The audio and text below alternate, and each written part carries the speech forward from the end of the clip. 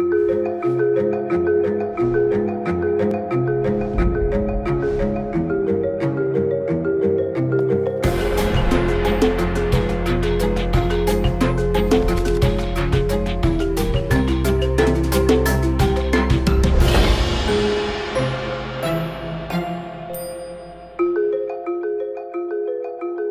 Women don't like the image of computer science.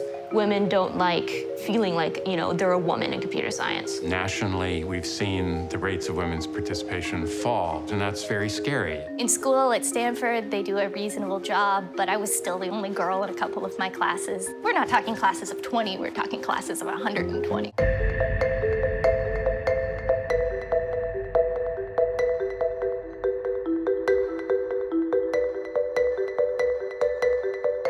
I think this is actually really a Rosie the Riveter moment, and that is that women are the great untapped bench.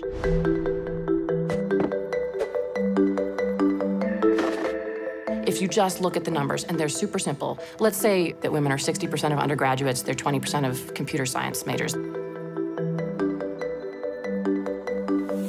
Imagine a hypothetical computer science department with 100 students each year. At 20%, women are 20 of those, men are 80 of those.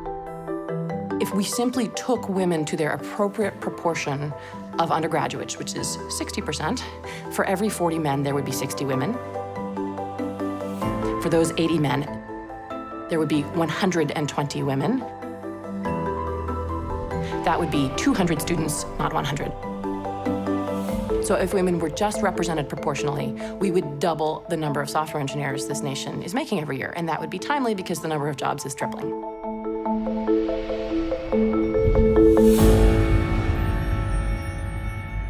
Is Tracy Chow, and I am a software engineer at Pinterest. My name is Shobhan Albert, and I work at Microsoft. I'm Jocelyn Goldfein, and I'm a director of engineering at Facebook.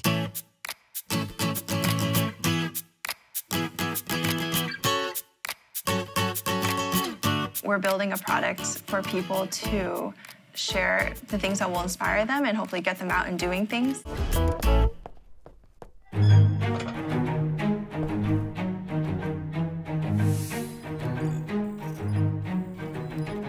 I was terrified to take the introductory computer science class. At least known by some as um, a weeder class, so it was a little bit more difficult. The expectation was if you're studying computer science, you must have used this before. And there were some guys in the class who had just been programming all their lives, and I had not even touched a computer until 1998. I thought I was failing that class the entire way through. I spent a lot of time thinking that you know, I just wasn't qualified for this. I hadn't been coding since I was 12, and my classmates, several of them had. There's some very good statistics, some done here at Stanford, that show that when women don't succeed at first, they blame themselves, and men blame the course or the test. So that a woman who gets a B plus thinks she's doing horribly, and a man who gets a B plus thinks they're doing fine.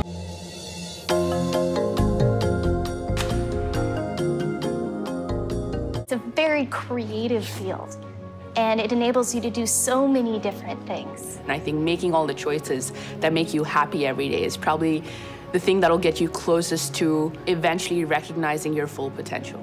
They can affect the world very positively. They can build products that are used by millions of people. And it's actually really dramatically changing the way the world functions. You can have an idea or a concept, and you yourself can build it and make it a reality. Like, it really is about making something that you're proud of and making something that, you know, you wanted to make and that was hard to make and that you did make.